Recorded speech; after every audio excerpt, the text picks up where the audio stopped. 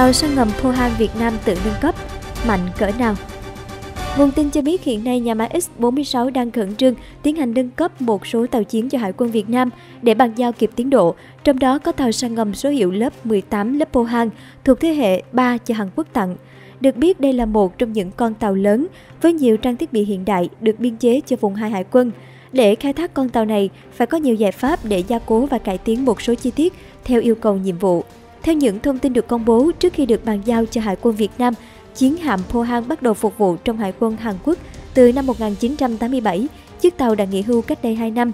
Lớp tàu hộ vệ Pohang có kích cỡ trung bình với chiều dài 88,3m, chiều rộng 10m. Vũ khí trang bị cho tàu thế hệ 3 của lớp tàu hộ vệ Pohang bao gồm hai khẩu pháo ô tô Melara Compact cỡ 76,2mm với nòng dài gấp 62 lần đường kính, bố trí trước và sau. Bên cạnh đó, trên tàu còn có hai bệ pháo bắn nhanh, Nobon 40mm 70 nồng đôi. Ngoài tác dụng bổ trợ cho khẩu 76mm trong việc tiêu diệt các mục tiêu cỡ nhỏ, thì nó còn đảm trách cả vai trò phòng không, chống lại máy bay thấp cũng như là tên lửa hành trình chống hạm khá là hạn chế. So sánh với thế hệ 2 thì đáng ngạc nhiên là thế hệ 3 không có tên lửa chống hạm bởi phía Hàn Quốc đã phân lớp này tập trung vào nhiệm vụ săn ngầm.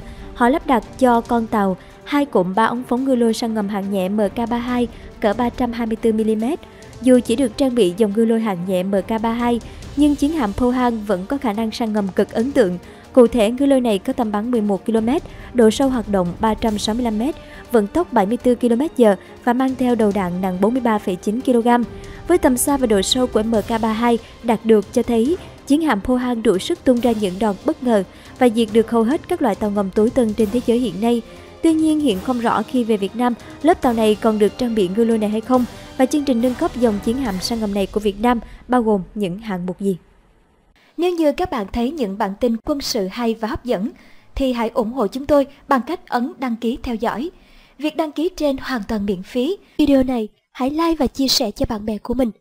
Hãy cho chúng tôi biết suy nghĩ của bạn bằng cách comment ở bên dưới. Xin chân thành cảm ơn quý vị và các bạn đã ủng hộ. Xin chào và hẹn gặp lại.